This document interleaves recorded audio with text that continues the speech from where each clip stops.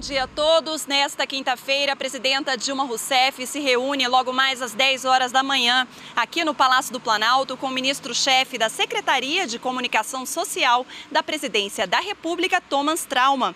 E hoje o governo federal decretou e foi publicado no Diário Oficial da União o estado de calamidade pública de dois municípios do Acre, Brasileia e Rio Branco, atingidos por inundações. Cerca de 123 mil pessoas estão sendo afetadas pelas fortes chuvas.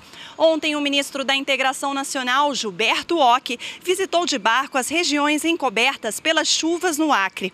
Anteriormente, esses dois municípios tiveram decretada a situação de emergência, o que permitia a ajuda complementar do Estado ou da União para as ações de recuperação e de socorro às vítimas. Já no estado de calamidade pública, a situação anormal requer auxílio direto e imediato do Estado ou da União para as ações de socorro e de recuperação.